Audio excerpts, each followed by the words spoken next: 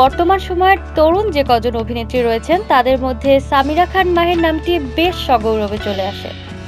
নিপুণ অভিনয় ও হাসি দিয়ে খুব অল্প সময়ের মধ্যেই দর্শকদের হৃদয়ে জায়গা করে নিয়েছেন। এখন ব্যস্ত নাটক নিয়ে।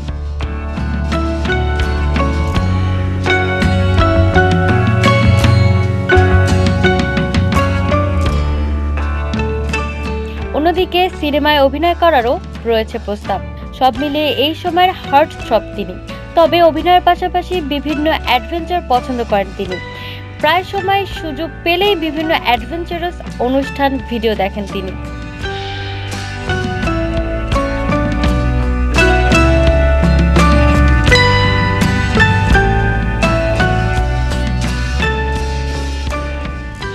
এই অভিনেত্রীর এর সঙ্গে ইচ্ছা ছিল নিজে অ্যাডভেঞ্চারাস জীবনযাপন করবে। এবার নিজে সেই ইচ্ছা পূরণ করলেন তিনি।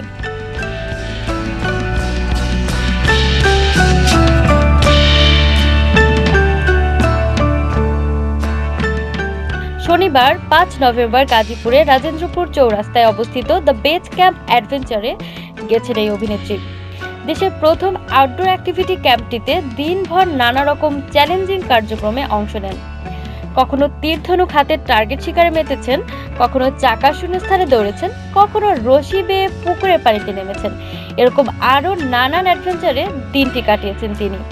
আর এই দিনটিকে নিজের জীবনের অন্যতম স্মরণীয় বলেও অভিহিত করেছেন মাহির